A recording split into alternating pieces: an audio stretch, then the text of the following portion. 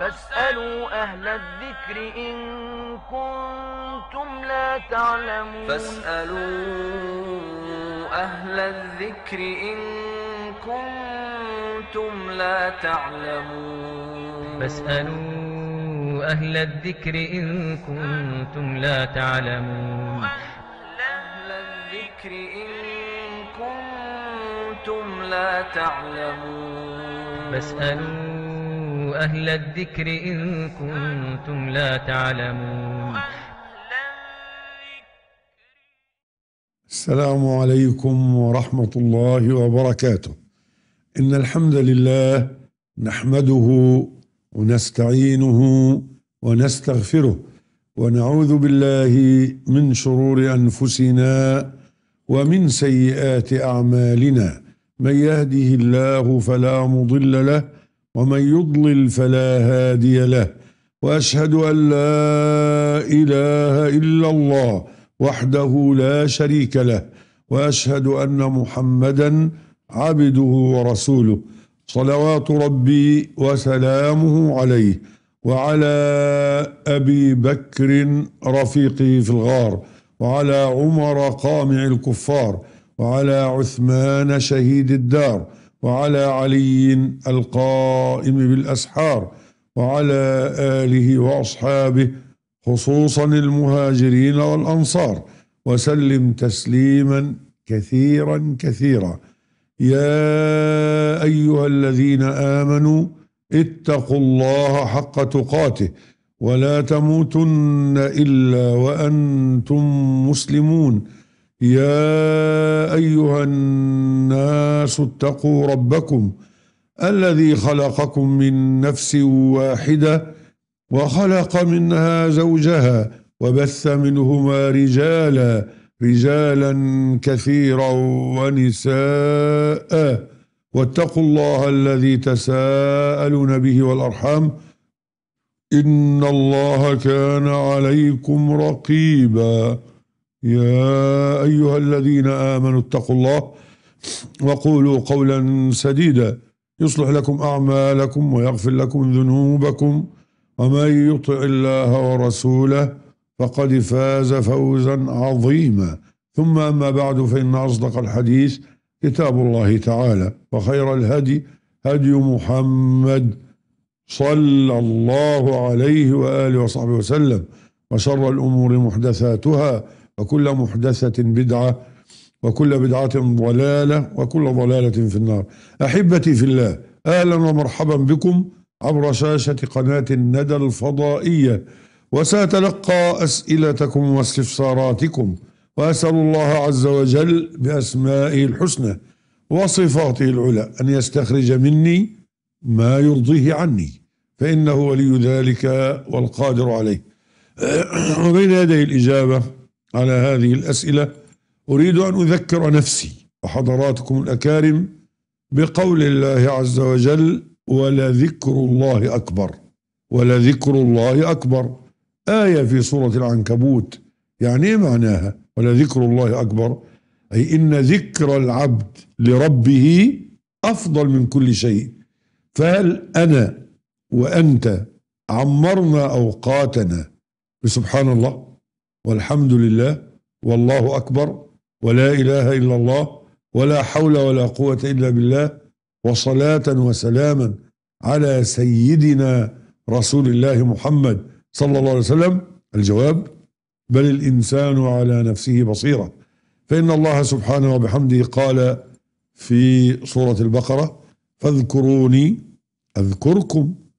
وما معناها؟ اذكروني بطاعتي أذكركم بمغفرتي وما من أحد فينا إلا وهو في أمس الحاجة إلى مغفرة الغفور الغفار. فما الذي يوصلنا إلى هذا كثرة ذكر الله عز وجل؟ فإن الله سبحانه وبحمده قال في كتابه العظيم يا أيها الذين آمنوا اذكروا الله ذكرا كثيرا. فعليك أن تعود قلبك ولسانك كثرة التسبيح والتحميد والتكبير والتهليل والحوقلة. والصلاة والسلام على سيدنا النبي محمد صلى الله عليه وسلم. وذلك امتثالا لقوله جل وعلا إن الله وملائكته يصلون على النبي. يا أيها الذين آمنوا صلوا عليه وسلموا تسليما. فدائما وأنت مسافر وأنت ذاهب وآيب وأنت في الحضر ها؟ عليك أن تعمر وقتك بتلاوة القرآن العظيم بالذكر. فإن في ذلك خير عميم لك أيها الموفق. هذا ما أردت أن أذكر به نفسي. وإياك على الله تعالى أن ينفعني وإياك بما قلت. تعالوا بنا لنأخذ شيئا من الإيه من هذه الأسئلة. بارك الله فيك. يقول تقول أخت كريمة زوجي بيلعب لعبة على الفون بيشحن ليها بفلوس وبيراهن على ماتشات وكسب منها مبلغ وأنا محتاجة حاجات في في بيتي وخايف آخد من الفلوس دي عشان هي كده حرام ولا أعمل إيه. الجواب بحول الملك الوهاب. هذا المال مال محرم وهذا الذي يفعله زوجك هداني الله وإياه إلى الحق والصواب. هذا قمار هذا قمار. والله جل وعلا قال في كتابه الكريم إنما الخمر والميسر والأنصاب والأزلام رجس من عمل الشيطان فاجتنبوه. يبقى الفتوى إيه؟ إن فعل زوجك فعل محرم. طب دي واحد. اتنين هذا المال محرم. طب ليه؟ لأن هذا قمار. طيب دورك إيه؟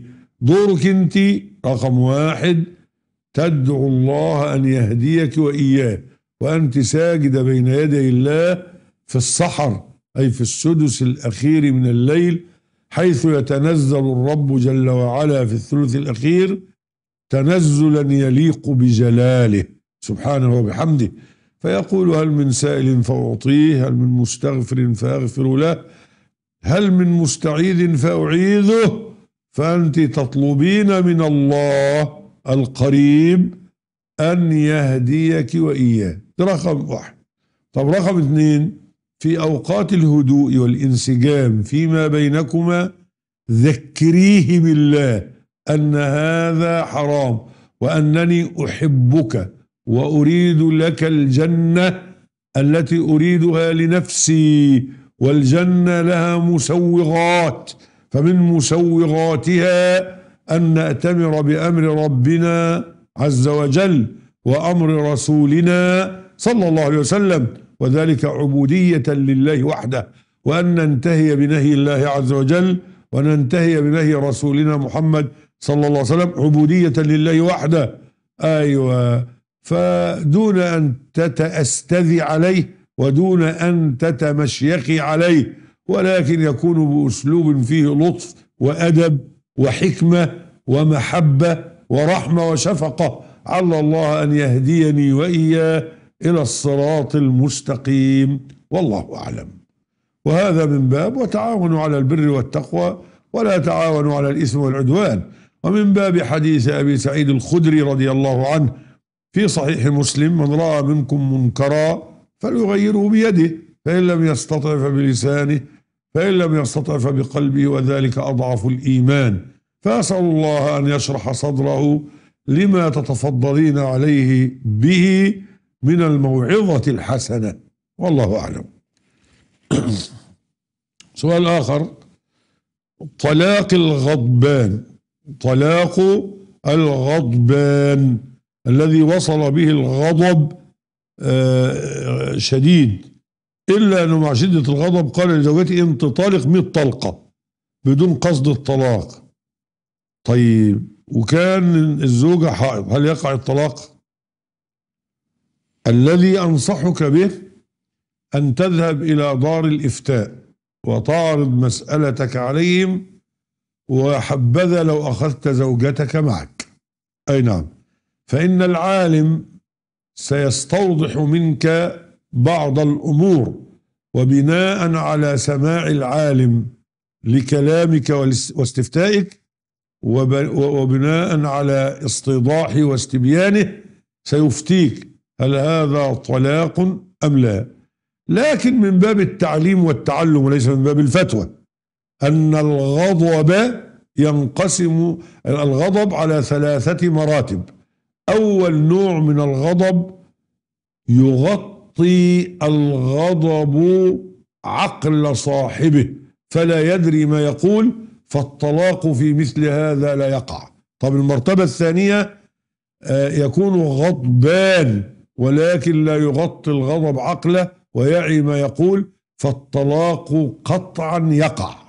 ما دام قال لها أنت طالق باللفظ الصريح المنجز ويفهم ما يقول. النوع الثالث الغضب يشتد ويتحكم فيه ويتلفظ بالطلاق وهو يعي ما يقول لكن الغضب قد اشتد وتحكم فيه. فهذا محل خلاف بين أهل العلم. من أهل العلم من قال بوقوعه ومنهم من قال بعدم وقوعه. إذا أنا ذكرت أن الإمام القيم ابن القيم تلميذ شيخ الإسلام ابن تيمية رحمة الله تعالى عليهما ذكر أن الغضب له ثلاثة مراتب. وبينت هذه المراتب. الكلام اللي حكيته ده اسمه مدارسة علمية. مدارسة علمية. أي نعم. لكن هل هي فتوى؟ لا. لأن لابد لصاحب الفتوى اللي طلق يكون بين يدي. فأسمع منه الاستفتاء. وبعد سماع الاستفتاء أستوضح منه وأستبين. فبعد الاستيضاح والاستبيان أفتيه هل هذا وقع أم لم يقع؟ أما وإن صاحب المسألة ليس بي- بين يدي فأنا أنصحه بالذهاب إلى دار الإفتاء أو إلى أقرب عالم رباني له. والله المستعان. نعم. وبهذه المناسبة أنا أود أن أذكر نفسي وسائر الأمة بحديث أبي هريرة رضي الله عنه الذي رواه ابن ماجه بإسناد حسنه غير واحد من أهل العلم آه ثلاثة هزلهن جد وجدهن جد النكاح والطلاق والرجعة. النكاح والطلاق والرجعة. فعلى الرجال أن يتقوا الله جل وعلا في ألسنتهم لأن الله جل وعلا قال ما يلفظ من قول إلا لديه رقيب عتيد. وعلى النسوة ألا يوصلن الرجال إلى دركة من الغضب تثمر مصائب. فعلى المرأة أن تستوعب زوجها وعلى الزوج أن يتروى ويتريث. والله المستعان. نعم. آه سؤال ثالث آه ما حكم الشغل في السياحة حتى لو كنت بعيد عن تقديم الخمور؟ والله يا أخي السياحة تنقسم إلى قسمين. السياحة الأولى سياحة دينية شرعية إسلامية اللي هي الحج والعمرة. دي حاجة طيبة. آه يعني تجمع جوازات الناس وتأتي لهم بتأشيرة للعمرة بتأشيرة للحج. تعينهم على قول الله عز وجل ولله على الناس حج البيت من استطاع إليه سبيلا ومن كفر فإن الله غني عن العالمين. تعينهم على قول الله تعالى وأتموا الحج والعمرة لله. تعينهم على قول النبي صلى الله عليه وسلم العمرة إلى العمرة كفارة لما بينهما ما اجتنبت الكبائر. وهذه هذه السياحة سياحة طيبة. أي نعم وأما السياحة التي تحمل فيها النساء العاريات الامرأة لابسة آه، سروال قصير بيقولوا عليه شورت ولابسة فانيلا بحمالات. أي نعم؟ جسمها باين. ليه؟ لأنها امرأة أتت من بلاد أوروبا أو من أمريكا أو من كذا أو من أستراليا أو من روسيا. آه، فليس بعد الكفر ذنب. فأنت إذا كنت موجودا بين هؤلاء فأنت بشر ولا حجر؟ أنت بشر. طيب وعينك ستقع على ذلك؟ آه. طب دي فتنة ولا لا؟ واحد يقول طيب ما إحنا ممكن نراهم في الشارع؟ يا أخي في فرق بين أن تراهم مرور الكرام ها وإذا وقع بصرك غضضت ما استطعت إلى ذلك سبيلا؟ أي نعم. تنتهي نهيا قطعيا وبين أن تعيش معهم حتى تألف المعصية والعياذ بالله. فأنا لا أنصحك بذلك وسبب نصيحتي بعدم وجودك أنك ستكون في المنكر بصفة مستمرة ومتصلة ومتتابعة ودائمة حتى تألف المنكر فيصير المنكر معك غير منكر. أي نعم. طيب والإنسان يحتاج إلى قوله تعالى واصبر نفسك مع مين؟ مع المتبرجات ولا أهل الموسيقى ولا أهل العري. واصبر نفسك مع مين؟ مع الذين يدعون ربهم بالغداة والعشي. يريدون وجهه. هذا هو المطلوب سلمك الله. نعم. حكم من لا يصلي الجمعة ويصليها ظهر اخوانا أنتم تعلمون أن صلاة الجمعة آه، فرض عين على الرجال. رجل من اللي لا تجب عليه الجمعة؟ التي لا تجب عليه الجمعة المسافر المريض الصبي المرأة العبد. خمسة لا تجب عليهم الجمعة. اللي هو المريض والمسافر والعبد والمرأة والصبي.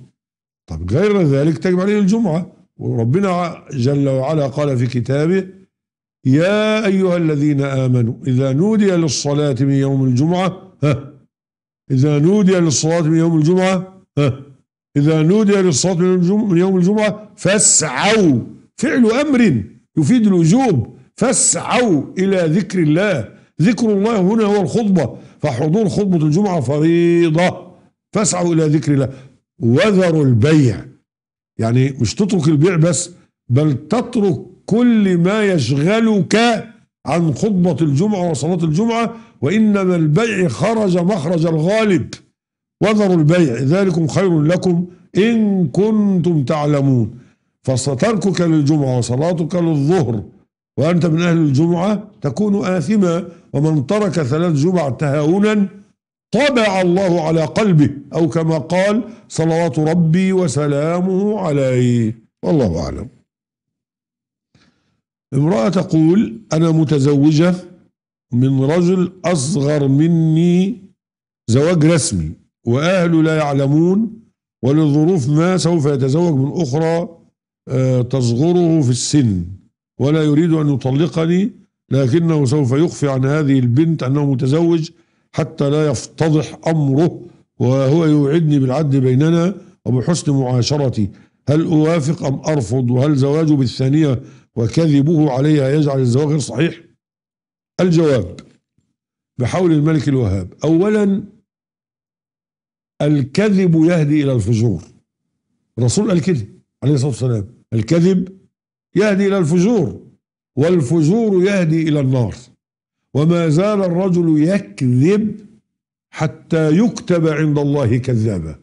طب في المقابل الصدق يهدي إلى البر والبر يهدي إلى الجنة وما زال الرجل يصدق حتى يكتب عند الله صديقا. أو كما قال صلوات ربي وسلامه عليه. طيب صفات المنافق إيه؟ إذا حدث كذب وإذا وعد أخلف. وإذا اؤتمن خان وإذا خاصم فجر وإذا عاهد غدر. إذا أنا لا أنصحك. ثم إن الزواج لا يتم إلا بإيجاب وقبول وولي وشاهدين ومهر وإعلان. الزواج لا يتم إلا بإيجاب وقبول وولي وشاهدين ومهر وإعلان. هذا هو الزواج الشرعي. ولذا فإني أحذر من غير ذلك. على كل حال فاصل وبعده إن شاء الله سنواصل. فلا تذهبوا عنا بعيدا. وصل اللهم وسلم وبارك على البشير النذير محمد.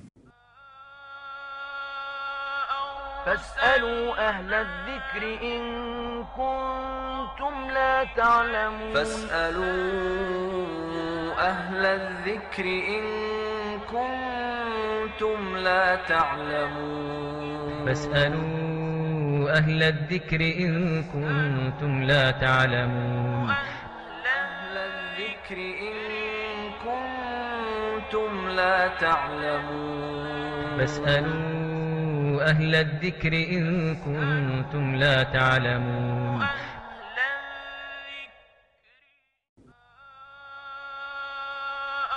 فاسألوا أهل الذكر إن كنتم لا تعلمون. فاسألوا أهل الذكر إن كنتم لا تعلمون. فاسألوا أهل الذكر إن كنتم لا تعلمون. أهل الذكر إن كنتم لا تعلمون. فاسألوا أهل الذكر إن كنتم لا تعلمون. بسم الله والحمد لله والصلاة والسلام على سيدنا رسول الله محمد صلى الله عليه وسلم. ثم أما بعد عدت إليكم بحمد الله وتوفيقه وهذا سائل كريم يقول مات عندنا آه، الوالد. يعني أبوهم مات. رحمة الله على والديه وعليه. طيب. بيقول بالنسبة لملابسه نعمل فيها إيه؟ الملابس دي من جملة الميراث. فإن اتفق الورثة على التصدق بها فهذا شيء حسن لهم ولأبيهم الذي مات ولأبيهم الذي مات. ها وأنتم تعلمون حديث أبي هريرة رضي الله عنه في صحيح مسلم إذا مات ابن آدم انقطع عمله إلا من ثلاث صدقة جارية أو ولد صالح يدعو له أو علم ينتفع به. أو كما قال صلوات ربي وسلامه عليه. يبقى الإجابة في كلم في ثلاث كلمات. الكلمة الأولى هذه الملابس من جملة ألو... من جملة الميراث. الكلمة الثانية لهم إن اتفقوا أن يتصدقوا بها. الكلمة الثالثة والأخيرة إن وفقوا إلى ما ذكر آنفا كان ذلك تثقيلا لميزان حسناتهم وميزان حسنات أبيهم. والله أعلم. طيب. آه اللهم صل على محمد صلى الله عليه وسلم. هل تسمية الولد باسم قديم حلال أم حرام؟ يعني لو سمت الولد إبراهيم أو نوح أو موسى أو عيسى أو محمد. وهذه أسماء أولي العزم الخمسة. هذا على سبيل المثال. فهذه أسماء مباركة أسماء رسل الله عليه الصلاة والسلام. أيوة. المهم ألا يسمى المرء اسم غير موفق. أي نعم. فالنبي صلى الله عليه وسلم قال أحب الأسماء إلى الله عبد الله وعبد الرحمن. وأصدقها حارث وهمام. والله أعلم. نعم. آه زوجتي ذهبت وتركت لي طفلتين وأنا تزوجت غيرها وهي تزوجت أيضا. والآن ترسل أخبار مع الناس بأنها تريد أن تتكلم معهم عبر الهاتف وتقول بأنها ندمت.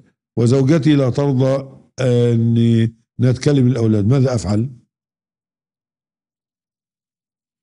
الجواب بحول الملك الوهاب ما فعلته ابتداء خطأ اللي هي قطع علاقتها بأولادها. طب ما وجه الخطأ؟ وجه الخطأ أن الله تعالى قال فهل عسيتم إن توليتم أن تفسدوا في الأرض وتقطعوا أرحامكم؟ أولئك الذين لعنهم الله فأصمهم وأعمى أبصارهم.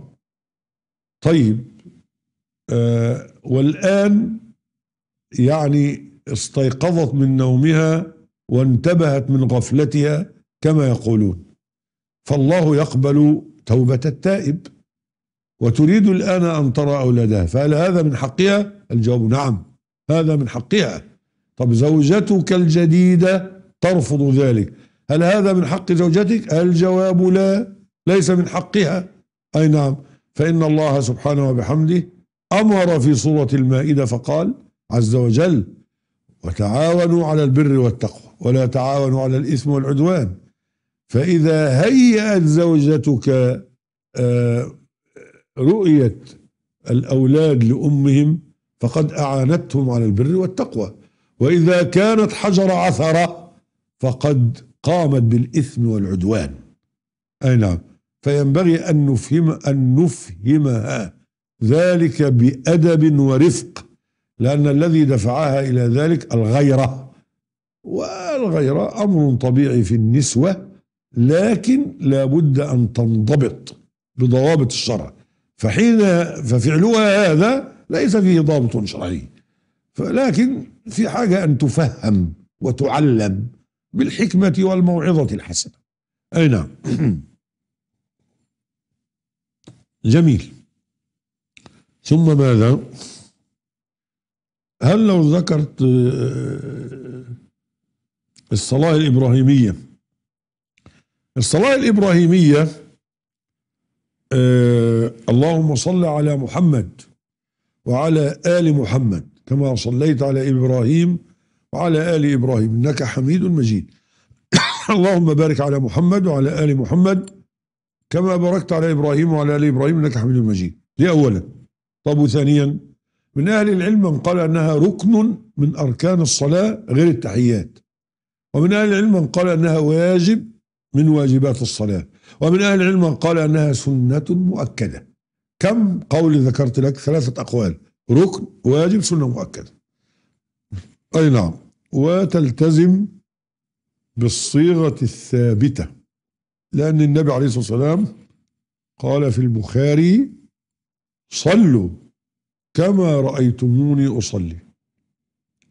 وهناك كتاب للعلامة محمد ناصر الدين الألباني رحمة الله على والديه وعليه وعلى سائر علمائنا ومشايخنا اسمه صفة صلاة النبي صلى الله عليه وسلم من التكبير إلى التسليم كأنك ترى هذا الكتاب كتاب ماتع.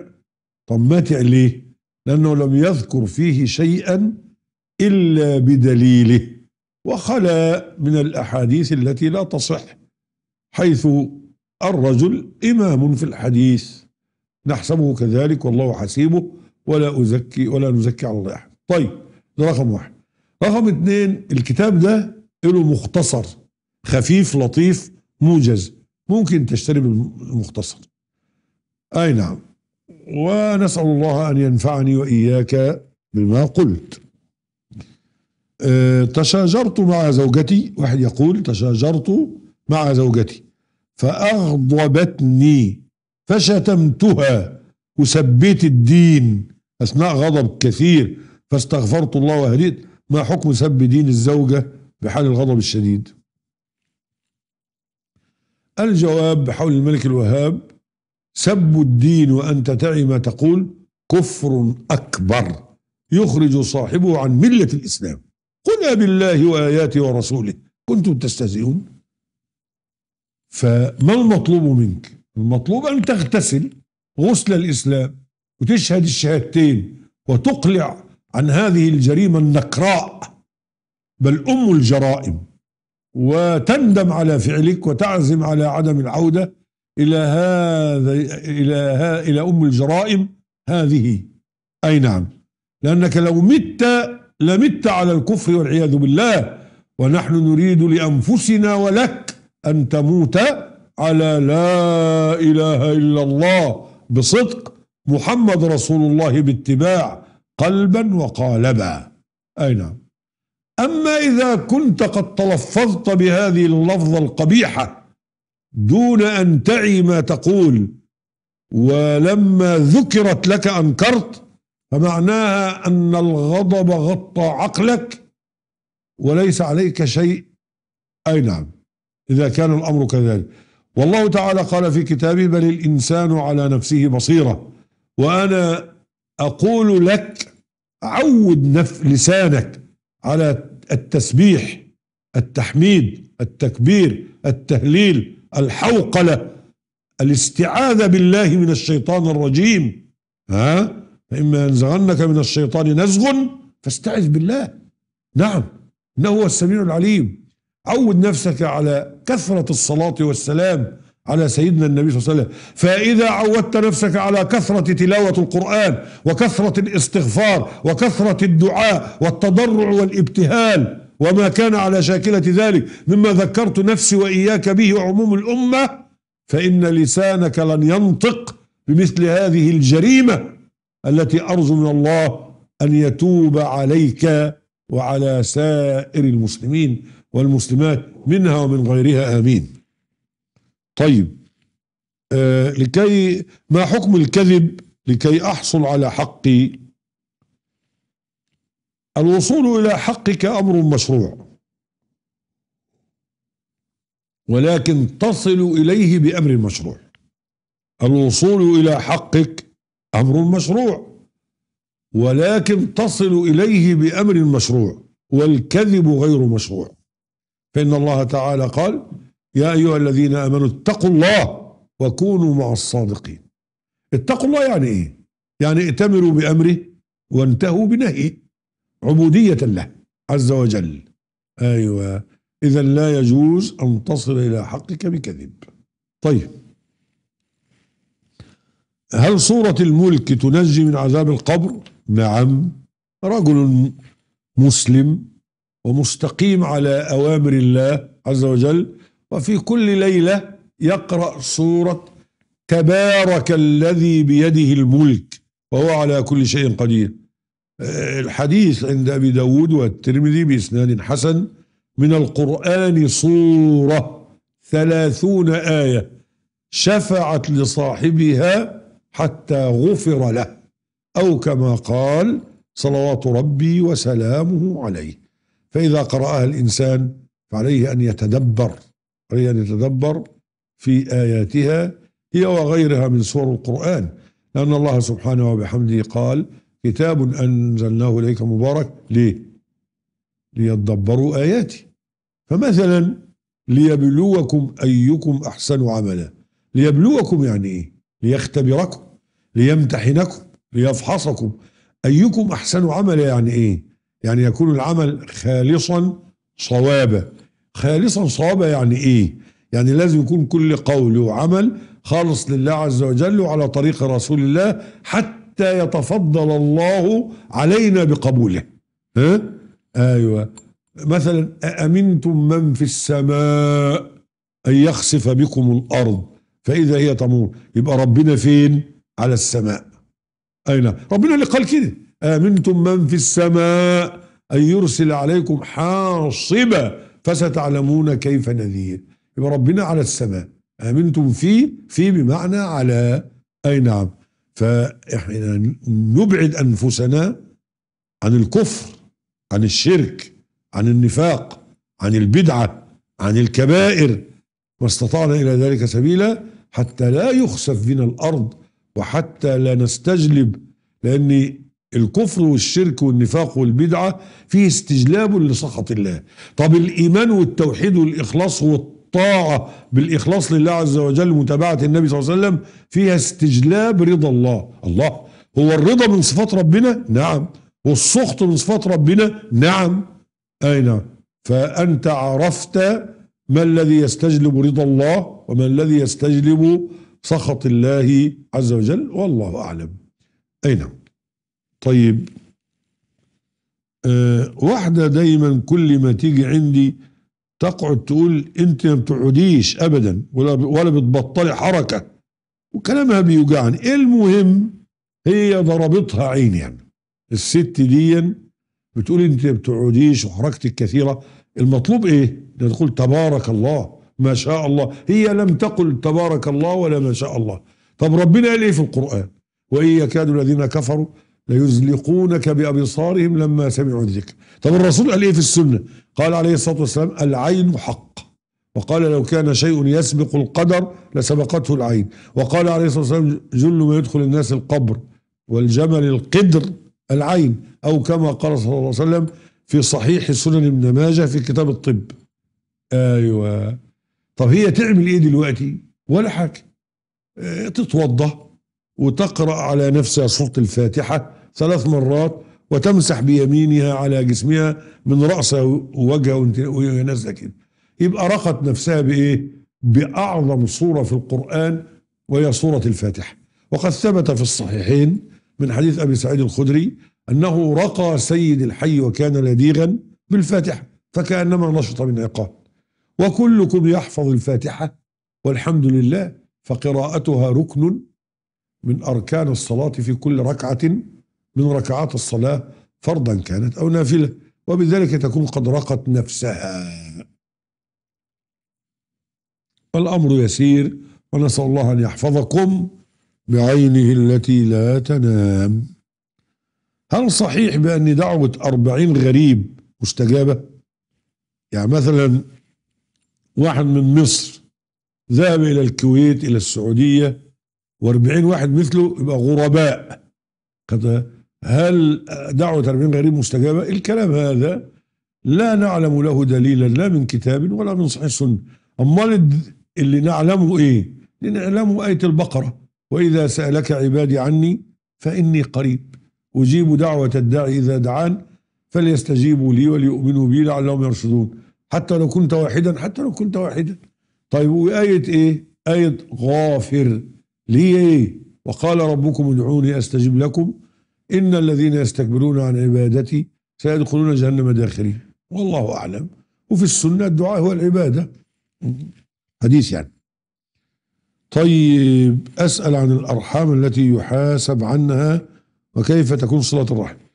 الجواب جميع أقارب أبيك وجميع أقارب أمك أرحام والمطلوب صلتهم لكن الصلة تبدأ بالأهم ثم المهم.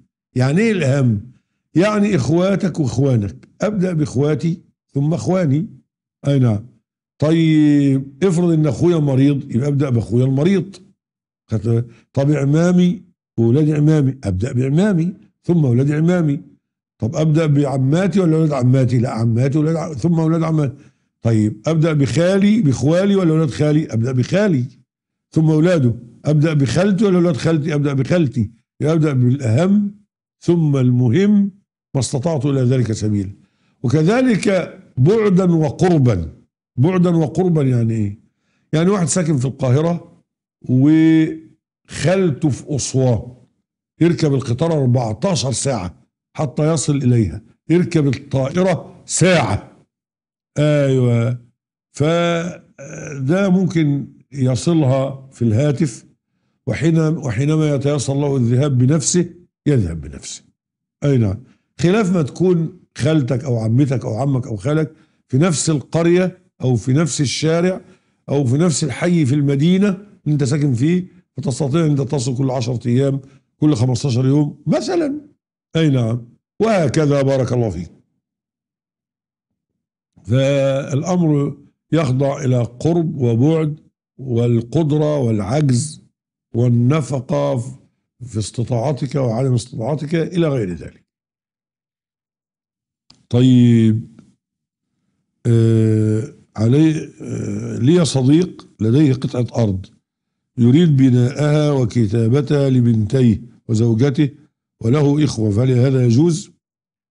والله إذا فعل هذا في حياته يعني وهب قطعة الأرض لزوجته وبنتيه وليس في نيته أن يهرب من تقسيم الله فلا حرج.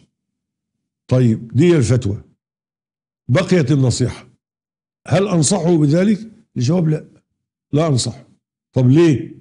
يا أخي قد يطول بك العمر وتعيش لتسعين سنة. ها؟ وقد تحتاج هذه القطعة وقد تمرض فتحتاج أن تبيع لتعالج نفسك. قد تموت زوجتك فتحتاج أن تتزوج. قد آه بارك الله فيك آه تحتاج إلى خادم يخدمك وراتبك على قدر نفقتك فتحتاج هذا المال. فدع الأمور حتى بعد عمر طول على الطاعة. إذا مت الأول آه تقسم بتقسيم الله عز وجل. هذا وإن كان من توفيق فهو من الله وحده. وإن كان من خطأ أو زلل أو سهو أو نسيان فهو من نفسي والشيطان. والله ورسوله منه براء. وصل اللهم وسلم وبارك على البشير النذير محمد. سبحانك اللهم وبحمدك أشهد أن لا إله إلا أنت.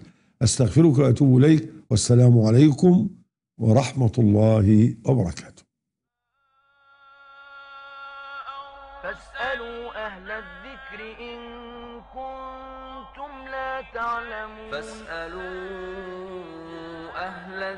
الذكر إن كنتم لا تعلمون. فاسألوا أهل الذكر إن كنتم لا تعلمون. أهل الذكر إن كنتم لا تعلمون. فاسألوا أهل الذكر إن كنتم لا تعلمون.